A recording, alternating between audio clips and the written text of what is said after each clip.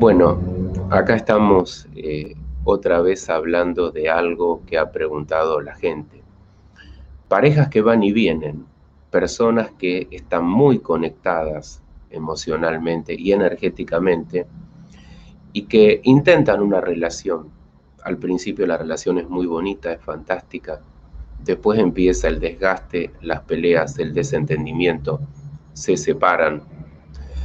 Cada uno de los dos se da cuenta que no puede vivir sin el otro, entonces vuelven a estar juntos un tiempo, se separan, están separados un tiempo, la vida de ninguno de los dos funciona, vuelven a estar juntos. Entonces son parejas que van y vienen por meses y por años. Eh, y cuando vuelven a estar juntos, porque antes creían cuando estaban separados que no pueden vivir el uno sin el otro, ¿no? Vuelven a estar juntos y los dos pelean por, por tonterías, por cosas sin importancia y no entienden por qué les pasa eso. Entonces, hay mucha gente que pide ayuda en este tipo de situación.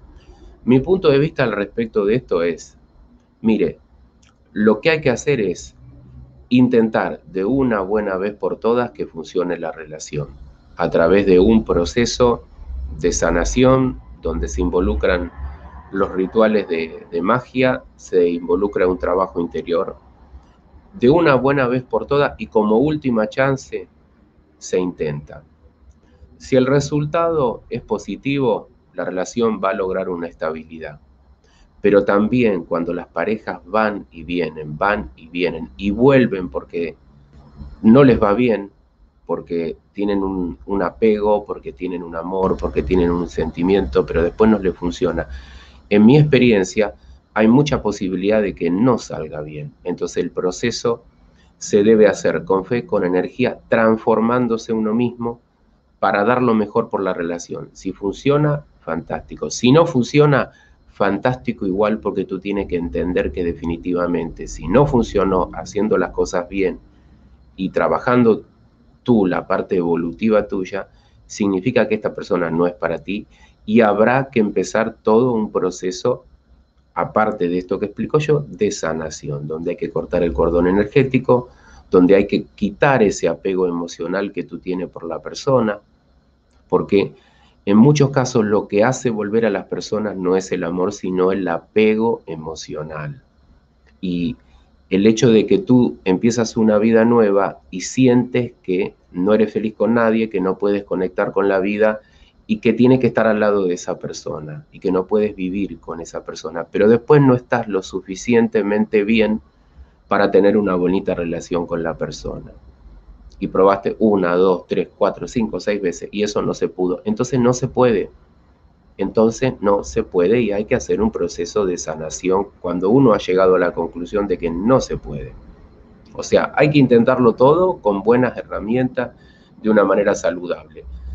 Si no da resultado, uno tiene que entender que hay que sanar y que muchas de las cosas que tú crees, las crees como por ejemplo esto de volver siempre con la misma persona para que te vaya mal y para desgastarte y para sufrir en la vida, este tipo de creencias tiene que ver con que tú tienes mucho apego y no te va bien cuando empezás una vida lejos de esta persona que evidentemente no te hace bien. Entonces, como no te va bien con nadie, no puedes conectar con nadie, volvés siempre con él mismo o con la misma. Y esto sucede en mi trabajo todos los días y es muy difícil la explicación esta que la persona lo entienda. Porque la persona dice, no entiendo por qué si nos amamos tanto eh, no, no, no, no nos funciona la relación. Porque a veces las personas no son compatibles, porque vuelven a veces a estar juntas solo porque tienen apego emocional y hay un apego energético, porque vuelven a estar juntas porque no pueden conectar con otras personas. ¿Y sabes por qué no puedes conectar con otra persona? Porque no te desconectas de esta o de este. Porque no has sanado, porque no podés hacer un proceso de sanación. Entonces, cuando tú estás sola o solo, no podés conocer otro hombre y otra mujer y enamorarte porque eh, tu mente está ocupada por tu ex, eh, o tu corazón, si vos querés decirlo así, está ocupado por tu ex. Entonces no, no has soltado emocionalmente, no has soltado energéticamente. Entonces hay que intentarlo todo, no da resultado, hay que sanar. Y hay mucha gente que directamente tiene que ir a un proceso de sanación, ni siquiera intentar armonizar la relación. ¿Por qué? Porque llevan años así. Llevan años, hay parejas que llevan años de esa manera. No tienen la suficientemente la suficiente fuerza para estar bien cuando están juntos, ni tiene ninguno de los dos la suficiente fuerza para salir adelante y ser feliz cuando están separados. Entonces hay apego y se te puede ir la vida en este tipo de circunstancias. O sea, a esto a lo que me refiero es, se te pueden ir años, 5, 10 años. Entonces cuando tú empieces a entender esto que digo yo y hagas un proceso de sanación de la mente, de las emociones, eleves tu vibración, vas a decir, Perdí 10 años, perdí 5 años. No entiendo por qué me pasó esto. Es muy difícil a veces entender lo que el apego emocional nos genera a los seres humanos, ¿eh? lo que nos lleva a creer.